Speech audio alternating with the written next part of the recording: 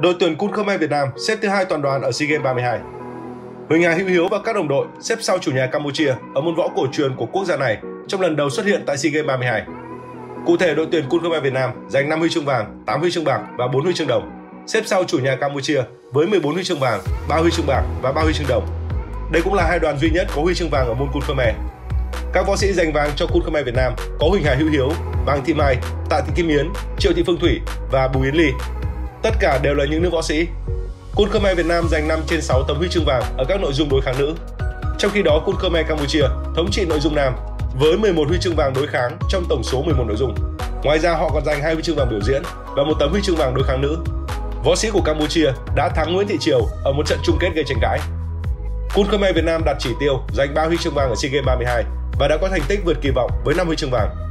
Sau SEA Games, các thành viên đội tuyển Kun Khmer Việt Nam sẽ trở về địa phương trước khi tham dự giải vô địch Muay Thái quốc gia vào tháng 9 và sau đó là Đại hội võ thuật và thể thao trong nhà châu Á 2023.